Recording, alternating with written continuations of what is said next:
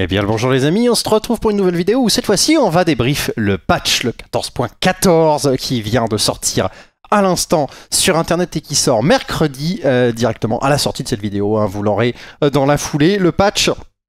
Et il va falloir qu'on débriefe tous les changements parce qu'on a quelques changements euh, sur des champions, principalement des nerfs et des ups qui sont là à sortir des champions qui sont un peu loin, des tentatives de de remettre des champions sur le devant de la scène, des ajustements qui sont aussi des tentatives pour remettre des, des champions sur le devant de la scène, et quelques changements des systèmes qui ont principalement été abusés par les pros.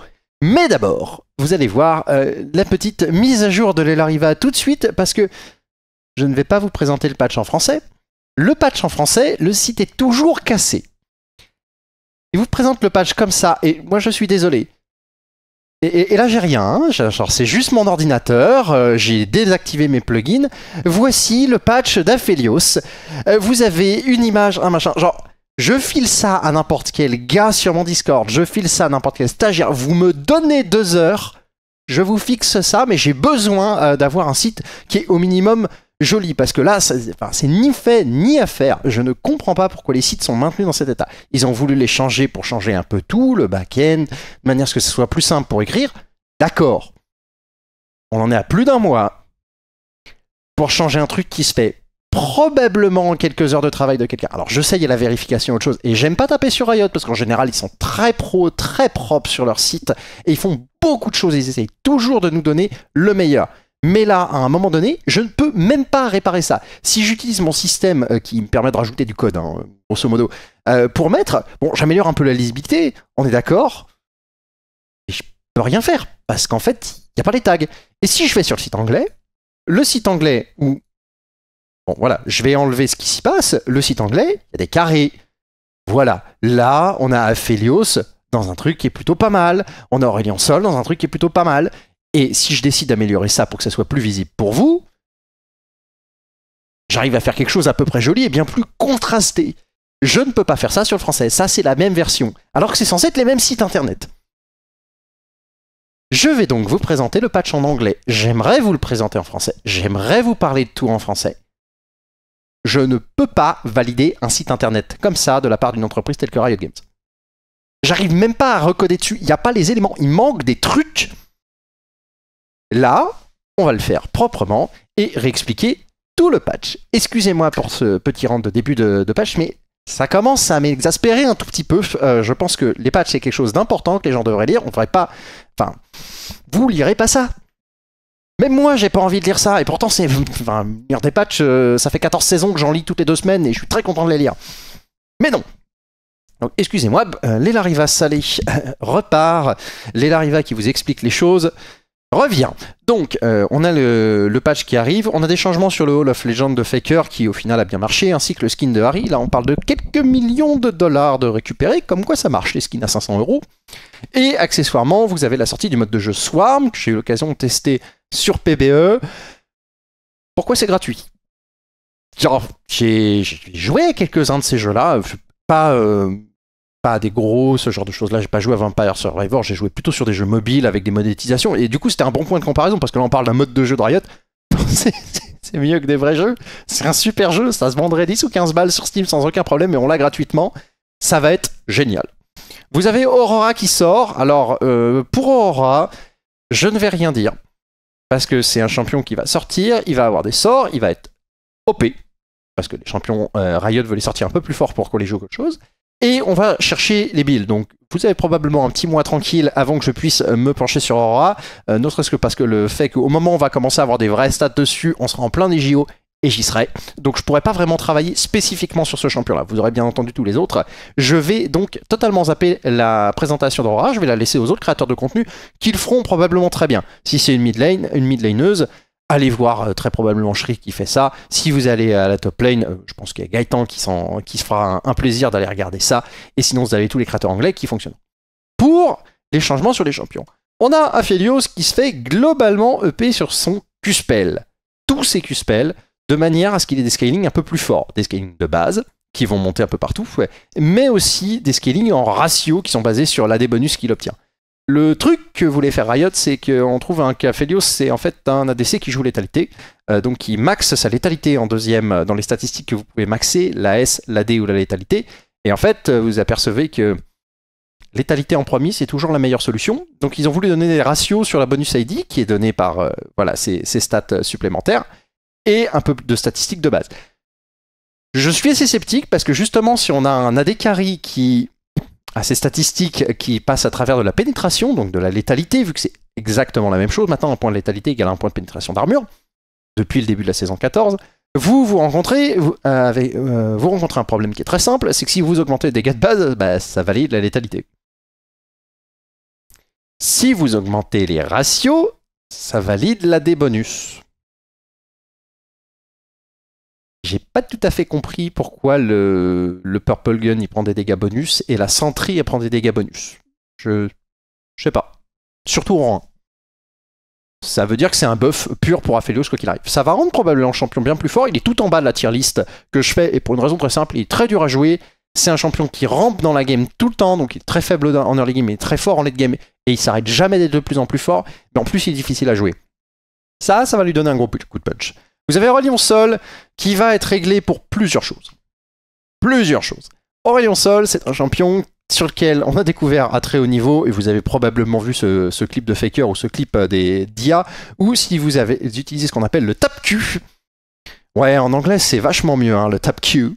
Euh, C'est-à-dire que vous appuyez sur A et puis vous rappuyez sur A immédiatement, vous allez juste utiliser un coup en mana qui est de 7,5 et faire un peu de dégâts.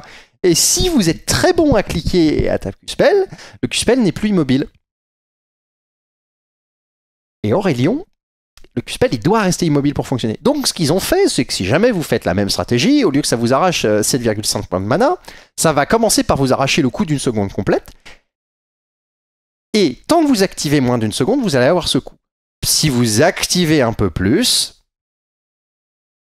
vous allez avoir un tic qui arrive et qui est euh, le tic euh, correspondant à la même chose. Euh, correspondant à la même chose ici.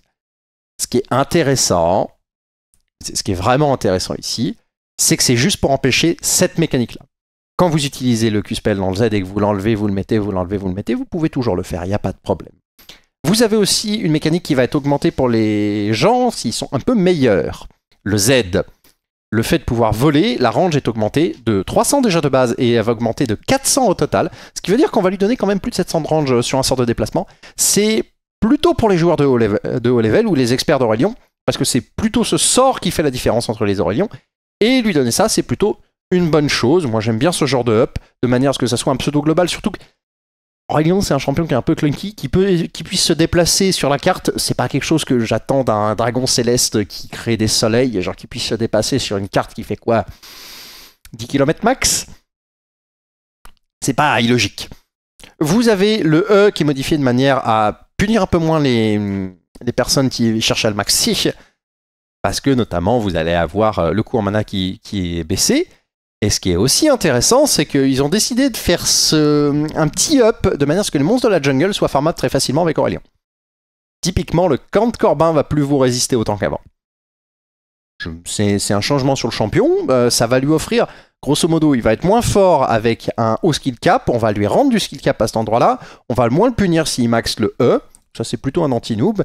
Et accessoirement, si vous savez farm des camps de la jungle, vous pouvez désormais le faire extrêmement facilement parce que vous êtes tranquille. Euh, le truc, c'est qu'il y avait marqué non-champion. Ça marchait pour la jungle. Donc là, ce que je viens de vous dire, c'est faux en fait. Et oui, c'est pour ça qu'il faut lire les patchs.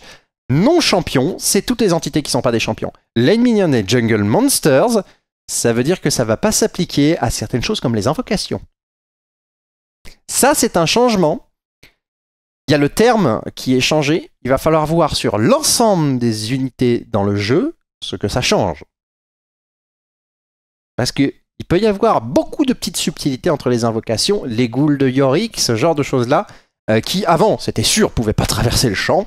Euh, maintenant, c'est pas dit. On va voir ça. Mais en tout cas, que le cours mana soit réduit, c'est plus intéressant. Mais vous avez toujours la possibilité de faire vos corbes. C'est là qu'on voit que li- lire correctement, c'est parfois euh, pas évident. hein. Et ce qui est l'avantage, c'est qu'en anglais, on a le bon terme. Il n'y a pas d'erreur de traduction au passage. Vous avez aussi le R de Aurélien qui arrive avec 10% d'AP euh, bonus, euh, de manière à ce que le R de base soit un peu plus impactant. Et accessoirement, si vous avez euh, le R amélioré, Il scale sur les dégâts de base. Ok. Et la Shockwave va scale sur les dégâts de base, mais va faire un peu moins de dégâts. Euh, Qu'est-ce que j'ai à vous dire? C'est un rééquilibrage du R d'Aurelion de manière à ce qu'il fasse plus de dégâts de base, mais que quand il est sa grosse forme, ça soit un peu moins fort en zone. C'est tout. Globalement, est-ce que c'est un up ou un nerf d'Aurelion Aucune idée. Ça, ça peut avoir beaucoup d'impact. Ça, c'est assez sympa, c'est plutôt un buff. Ça, c'est plutôt un buff. Ça, c'est un nerf à haut niveau. À bas niveau, ça change rien. Et ça, c'est un up pour tout niveau. Je pense que ça peut changer en fonction du très haut niveau et du bas niveau. J'ai hâte de voir ce que ça va donner. Vous avez Belvet qui est elle nerf pour le haut niveau. Clairement, Belvet, c'est un des meilleurs jungle quand on parle de haut niveau. On lui enlève euh, de la range d'auto-attaque. Ça, c'est assez huge pour un champion. On va lui re-rendre quand elle aura sa vraie forme. L'idée de base, si vous avez votre vraie forme, Belvet, ça bouge pas. En early game, Belvet va arriver un peu plus dans un cas où elle va devoir se déplacer pour vous mettre une auto. Ça peut être assez intéressant parce que ça va reward l'extrême précision sur les Q-spells de Belvet et ça va vous offrir des opportunités de juste vous enfuir. 25 de range, c'est huge pour un melee. Brand qui est modifié de manière à avoir son E un peu moins disponible. Brand lane qui prend, Brand support qui prend et qui fait moins de dégâts, Brand lane et support. Euh, c'est juste qu'ils essayent de rentrer Brand en termes de win rate. Ça va pas changer le champion. Ça va pas le rendre nul, surtout en solo queue. Par contre, ça va le remettre un peu dans le rang. Ça va plus être bonjour, vous blame piquez Brand Zyra. Qui est pas des champions qu'on est censé pouvoir blame. Mais c'est pas tout à fait étonnant qu'on ait une méta Brand Zyra avec les, items qu'on a. Vous avez Shoga qui se fait modifier. Alors ça, ça a l'air de rien, mais c'est un gros changement pour Shoga. Euh, vous avez les Pikes, donc son E, qui va monter en dégâts de base.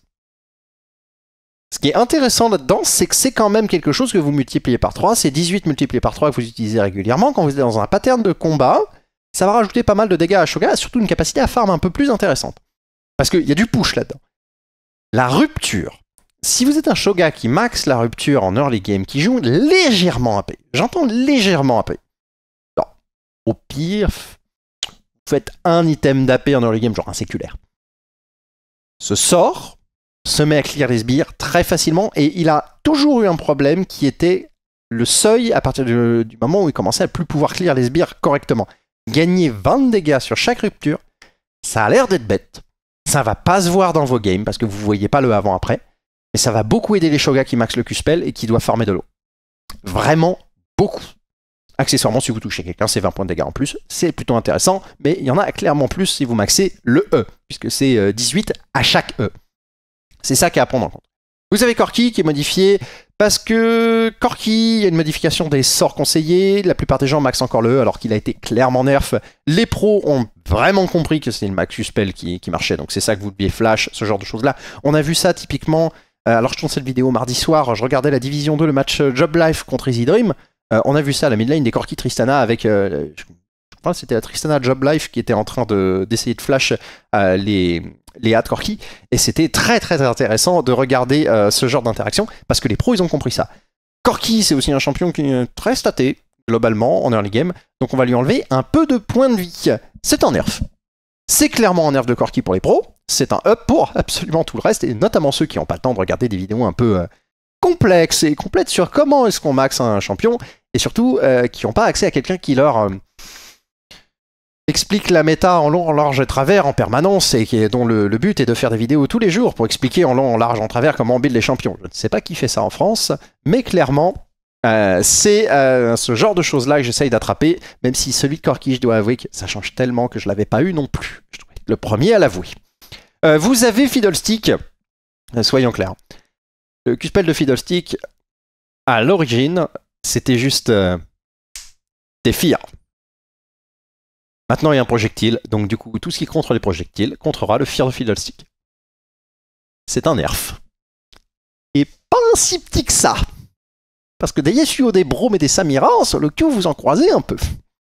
Vous avez Karim qui lui est modifié de manière à avoir plus de croissance de points de vie, avoir un Z qui dure moins longtemps mais qui est plus impactant, plus de healing, et euh, un healing euh, supplémentaire pour les dégâts qui font dans les alliés dans la zone.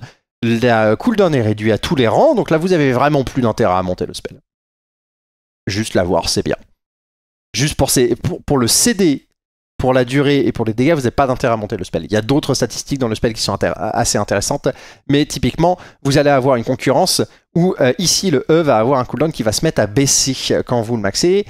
Et vraiment, il y a un choix. Quand vous avez un sort qui est donc cooldown devient flat, il est tout de suite un peu moins intéressant à maxer si les dégâts montent pas, si les résistances montent pas, ce qui est autre chose dans le Z de, Karim. Mais le E, par contre, euh, l'avoir plus souvent de 2 secondes en late game, ça peut être assez intéressant. Et avoir un peu plus de points de vie fait que Karim va pas être un monstre en early game, par contre, va scale bien mieux. L'air de rien, 7 PV par, euh, par level, c'est un petit up. Vous avez Irelia qui est aussi euh, remodifié de manière à ce que son passif porte son attaque speed et pas son attaque speed de base. C'est-à-dire, petit message à tous les joueurs d'Akali euh, qui m'envoient souvent des messages.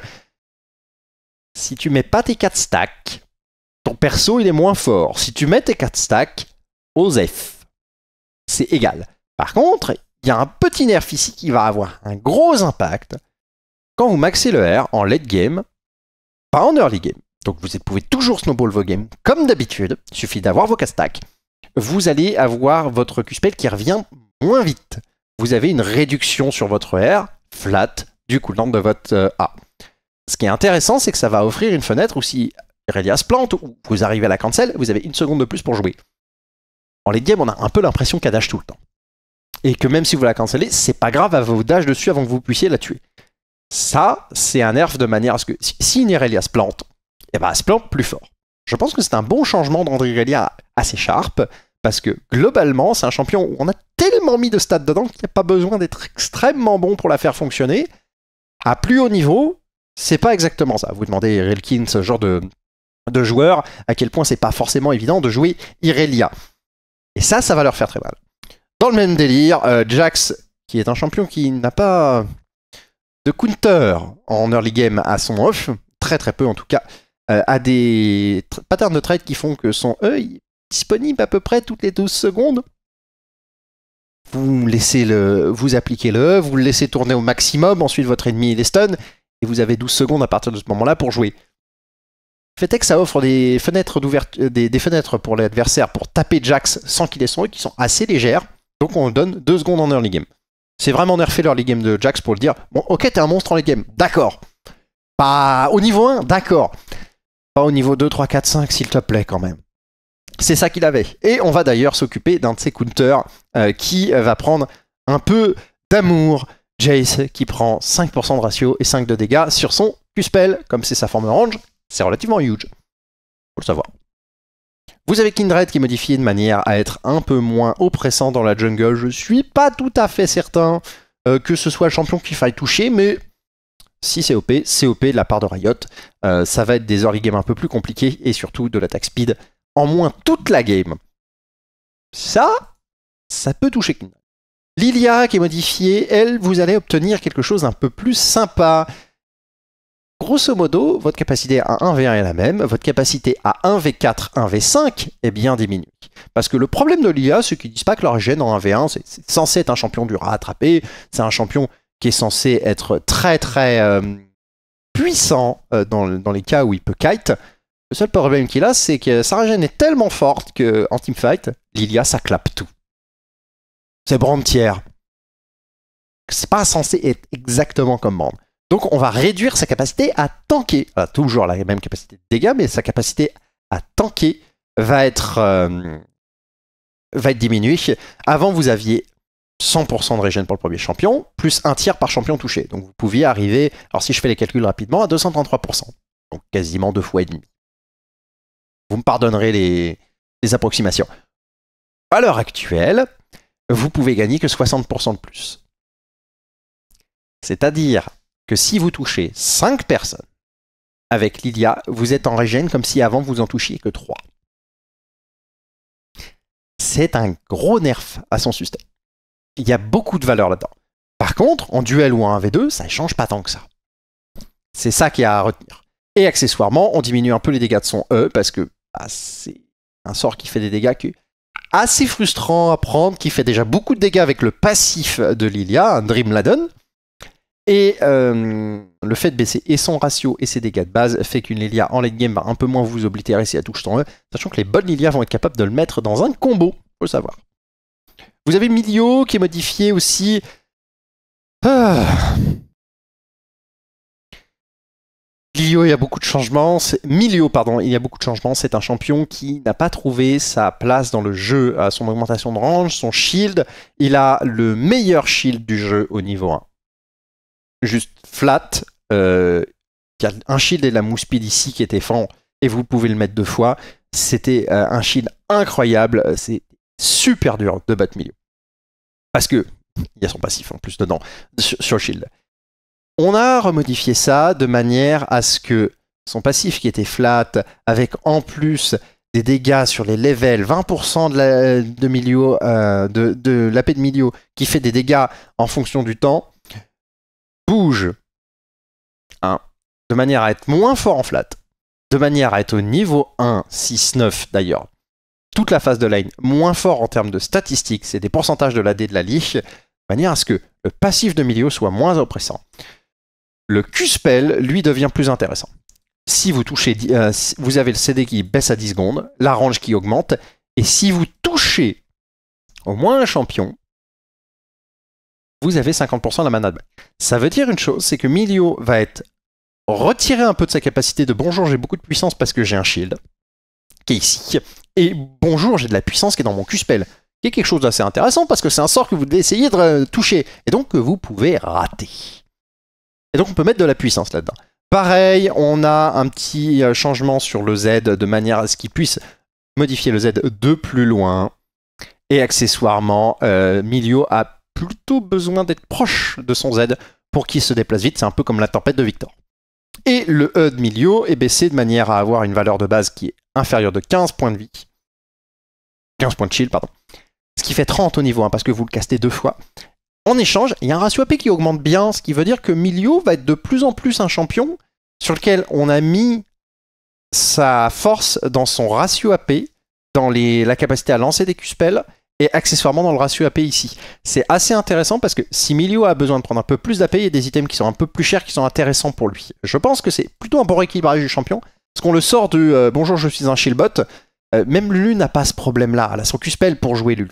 Il y a des choses à faire. Milio avait vraiment le, problème du bonjour, j'appuie sur Z, j'appuie sur E, et le Q-spell, c'est vraiment s'il y a quelqu'un qui vient devant. Ce qui n'est pas très intéressant à jouer, ce qui n'est pas euh, très intéressant à jouer contre. Vous avez Nidale aussi qui se fait modifier euh, de manière à être un peu moins forte sur son Z, en dégâts de base. En échange, on lui ajoute un ratio AD.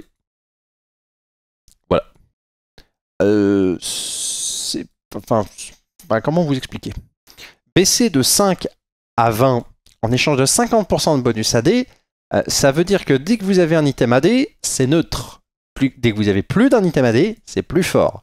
Pareil pour le E, qui a des valeurs qui baissent un tout petit peu pour pas taper la P, euh, même s'il y a le ratio qui, qui, baisse, et on lui donne 70% de bonus AD.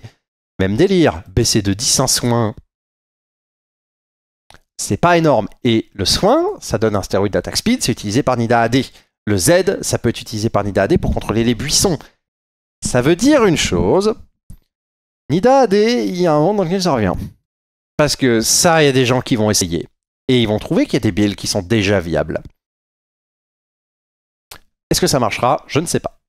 On a Rumble aussi qui se fait modifier parce que les pros sont trop forts dessus. Rumble, c'est trop pété en early game vous n'avez pas l'impression de pouvoir jouer, ça a une phase de lane qui est très forte tout en transitionnant sur un bon mid-game, et maintenant ça scale bien. Donc, ce qu'ils font, c'est qu'on baisse un tout petit peu les dégâts, hein, trois fois rien, hein, juste un tiers au niveau 1. Le modificateur de, push de minion, par contre, est modifié de manière à ce que Rumble réobtienne du push en early game, qu'il fasse moins de dégâts au champion, mais qu'en échange, il ne se fasse pas complètement démolir sur les dégâts qu'il fait au minion. Le fait est que passer de 70 à 55%, euh, si vous enlevez 30% des dégâts, là, on a enlevé 45, c'est vraiment 33, 35%, euh, genre, on est vraiment sur des valeurs assez élevées. Et si vous enlevez 30% à 70, euh, ce qui fait, je vous le passe, à peu près 23 et des brouettes, vous retombez et vers 47-45% des dégâts. Donc ça reste un nerf. Votre capacité de push va diminuer votre capacité de trade va diminuer jusqu'à ce que vous maxiez le sort, où là, vous aurez encore perdu 5% de push environ. Par contre, ce qui est donné, c'est tout ça. Pour vous expliquer, le Ad Rumble, le problème qu'il a, c'est qu'il essaye de vous donner une exécute sur les minions, mais il le fait pas très très bien, ce qui fait que farmer avec Rumble, vous allez avoir une tendance à dire que vous allez vous anti-farm. C'est pas drôle. Il y a très peu de champions dans le jeu qui sont comme ça. Il y a Merdinger, Zaira, euh, vous avez Rumble, ce genre de champions euh, qui ont des mécaniques qui font, qui font très très peu de dégâts. Et donc, le jeu va check si sur le prochain tic de lance-flamme, vous auriez tué le mignon. Et si c'est le cas, mignon exécuté. Ça veut dire que vous n'allez pas vous retrouver entre le jeu qui décide entre deux tics de faire euh, de, tuer votre, euh, de tuer le mignon. Parce que si vous faites 15 points de dégâts par tic, vous avez des, des tics qui sont très courts sur Rumble, vous faites toujours très peu de dégâts, donc une auto de birange va souvent être plus forte qu'un A maxé de Rumble. Vous avez ce genre de problème. Et ça, ça va vous permettre de farmer mieux. Ce qui fait que vous allez perdre de l'early game contre euh, des gains de CS. Plus vous êtes mauvais sur Rumble, plus vous allez avoir un gain important pour pas de grand chose sur l'early game parce que c'est là où vous allez avoir des difficultés à jouer. Et vous gardez tout le mid-game puissant de Rumble. Je pense que ça, ça peut être au final un bon moyen de le sortir des pros tout en le rendant plus accessible. Et ça, j'aime bien parce que je pense que Rumble est un champion qui mérite euh, d'être joué par plus de gens. Sion va pas bien. Je ne sais pas pourquoi, les items sont techniquement tous faits pour lui. Sion ne va pas bien. Du coup, on va augmenter le ratio de son Z de manière à ce qu'il n'ait plus à monter avec les niveaux. Vous l'avez de bas, ça sera 14% de vos, vos HP max en termes de dégâts. Des HP max adverses en termes de dégâts. De manière à ce que Sion ait plus de dégâts. Ça change pas le shield, ça change que les dégâts. Excusez-moi pour ça. Vous avez Smolder qui est modifié de manière à ce qu'il est un peu, un peu mieux, avec euh, des dégâts qui montent de 5 à chaque fois. Ça, ça change pas grand chose si ce n'est votre capacité à farmer les minions.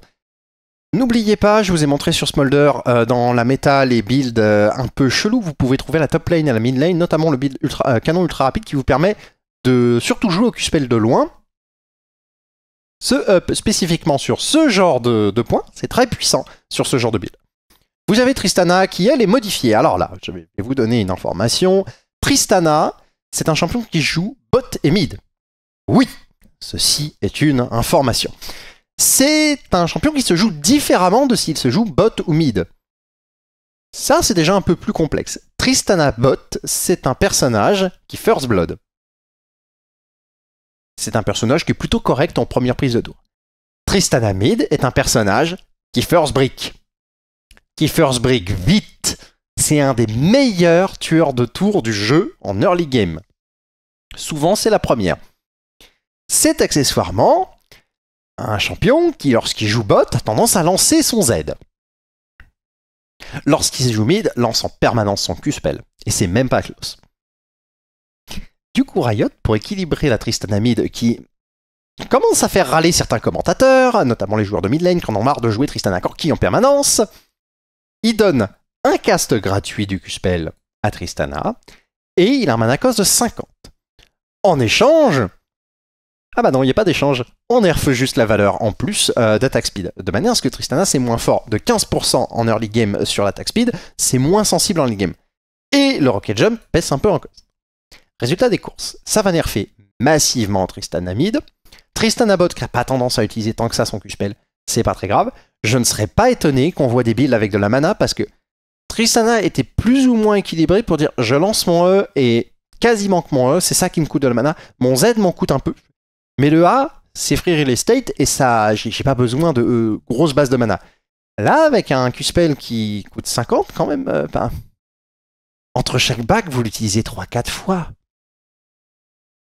Votre barre de mana va vraiment euh, périr de ça. Je ne serais pas étonné que Tristana ça périme là, tout de suite, à cause de ce coût en mana qui est trop élevé. On parle pas de 25 ou 30, on parle de 50. C'est vraiment élevé.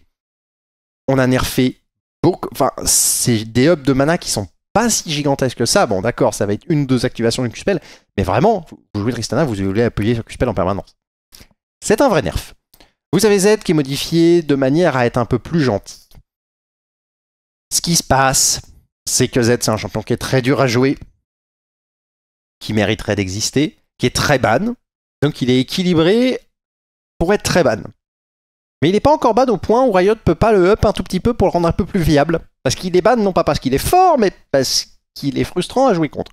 Donc on va lui redonner un peu de puissance sur son A de manière à ce qu'en lane il soit capable de farm. Et accessoirement, son E, le slash autour de lui, la, euh, la réduction de cooldown en fonction du nombre de champions ennemis touchés est augmentée. C'est un vrai up. Zaira qui elle est modifiée de manière à faire moins de dégâts sur son passif, à faire moins de dégâts sur les monstres de la jungle, et accessoirement euh, des petites euh, occupations dans le tooltip, de manière à ce que ça soit plus fiable. Je ne sais pas quel impact ça peut avoir sur Zaira. Les chiffres de Zaira sont toujours très difficiles à lire, sachant que là c'est juste un nerf en early game, puisqu'il y a un ratio AP qui augmente très légèrement, et il y a un vrai nerf en early game sur sa capacité à clear. L'idée c'est que ça soit des AP qui soient relativement lents à clear. On va arriver sur les items et les runes, ça va être assez facile. Et ensuite, ça sera la fin du patch. On s'en est sorti en 35 minutes. On sera plutôt content. La Warmog, abusé par les supports parce qu'avec leur quête, ils obtenaient 200 points de vie. Avec les runes, ils obtenaient 100 points de vie. Et avec la Warmog, ils en obtenaient 1000. Ce qui fait que pour obtenir le passif de la Warmog un peu pété, ils l'avaient à l'achat de la Warmog. Euh, comment vous expliquer? Quand un Mundo top qui va avoir énormément de level d'avance sur la map, euh, qui va vouloir stacker des points de vie, fait une Warmog first pour avoir la régène puisqu'il a des coups en point de vie et que le perso est équilibré pour avoir ce genre de, dilemme à faire, je veux de la régène parce que j'ai des coups en point de vie élevés, il faut que je les gère d'une manière ou d'une autre. Oui. Quand les supports font la même chose en rushant la Warmog pour avoir les 15% de move speed, c'est un peu... Hmm, en fait, euh, à l'heure actuelle, si vous jouez autre chose sur un support, vous êtes activement en train de troll. Sauf dans les cas où il y a des cartus, ce genre de choses.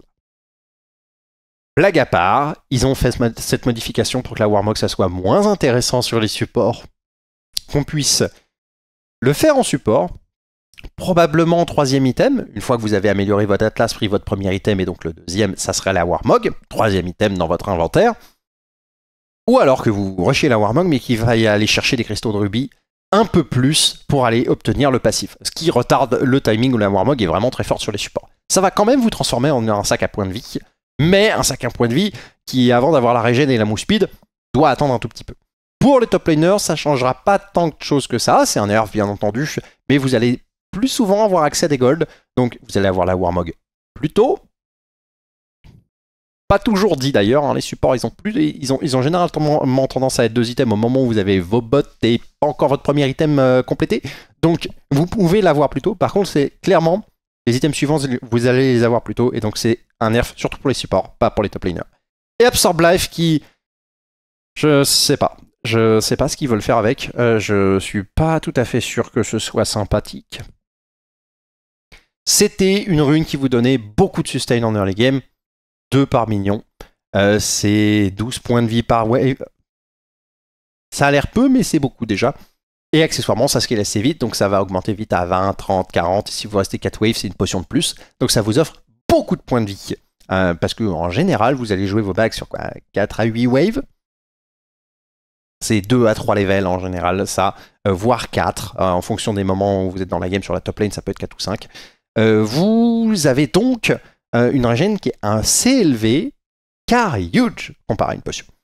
Ils vont la diviser par deux en la game c'est un nerf du level 1 à 12. Ça veut dire que Absorb Life, il euh, va falloir revoir si la rune vaut toujours autant le coup d'être prise en early game. Ou si c'est une rune de sustain late game, un peu comme euh, vous preniez les gens de sensu pour avoir du lifesteal. Parce que à la fin, euh, quand vous obtenez un CS et que vous prenez forcément 15, 15 points de vie, bah, c'est à peu près équivalent à si vous aviez 15% de lifesteal sur 100, sur 100 de dégâts. 7% de lifesteal sur 200. 1 million k 300, c'est 3-4% de lifesteal. Ouais, c'est pas mal. C'est vraiment pas mal. Donc à voir ce que ça va donner en termes de puissance, je ne saurais pas la juger aujourd'hui. Ensuite, vous avez l'arena qui est vraiment modifiée parce que là on est, on est dans Riot Games. Hein. Dans le patch, euh, moi je dois faire les patchs de trois jeux à la fois. Vous avez Arena, euh, vous avez la RAM, qui est un jeu différent. Euh, vous avez Quick Play, qui est aussi assez sympathique et qui a été bougé de manière à ce que, d'ailleurs ça c'est important pour vous, le surrender très facile est là un peu plus, un peu plus souvent, un peu plus tard. De manière à ce que vous essayez de finir vos quick play et ils ont un problème et ils y réfléchissent pour les gens qui sont jail de, de solo queue, qui essayent de passer leur game en quick play et de surrend très rapidement pour avoir que 50 minutes, enfin littéralement 50 euh, minutes de, prison au lieu d'en avoir plutôt 3-4 heures, qui était le but du problème. Vous avez les skins du nouveau mode de jeu qui vont arriver. Alors j'ai pas reconnu Xayah, hein. pour moi c'était Katarina ça. Euh, c'est ce truc que j'avais à dire. Sinon, le mode de jeu est génial. Vous avez bien entendu les chromas. Et ça se termine pour l'ensemble du patch.